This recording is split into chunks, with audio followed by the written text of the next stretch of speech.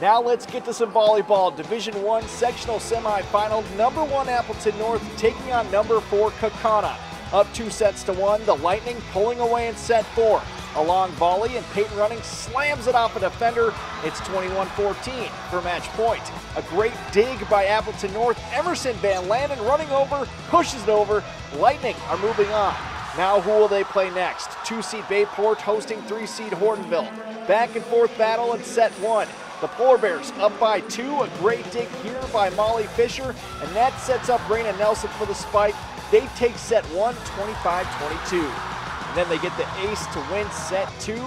But here comes Bay Port, down two sets to zero. They take set three as Martin Grossman for the Polar Bears slams it into the net.